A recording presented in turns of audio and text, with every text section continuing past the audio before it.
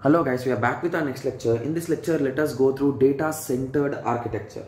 Okay, so data centered architecture from the name itself, you can clearly say. So here the data is located in the center. Okay, so if you once I show you the diagram, you'll be saying that okay, I got it.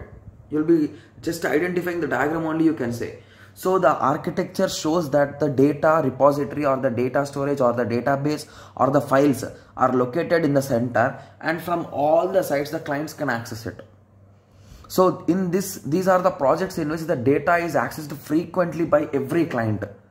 In that situations, they'll be going for data centric architecture. So let us go through the theory. From the name, it is clear that the data is located in the center. Yes, that's true. A data store or file or database resides in the center of this architecture is accessed frequently by other. Remember that it is frequently accessed by other components that update, add, delete or modify the data within the database. So that is the reason why it is located in the center guys because it is accessed again and again. So client software accesses the center repository.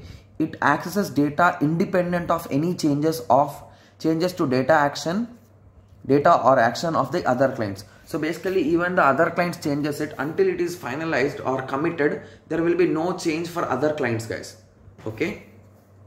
So data center architecture promotes integri integratability that is ex ex existing components can change and new client components can add to the arc without concern about the other clients.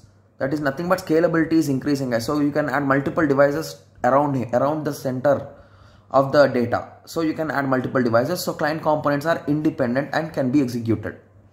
Okay. So, so the main idea here is nothing but anyone can access and you, if you want, if you, a new client comes, you can add him here. So if a new client comes, you can add him here. So there is no restriction that you should have only this much or you should have only these many number of uh, clients. There's no restriction like that. So you can add or remove whenever you want without any issue. Okay. So I hope everyone got some basic idea about data centric architecture. In the next lecture, we will be going through data flow architecture. Okay.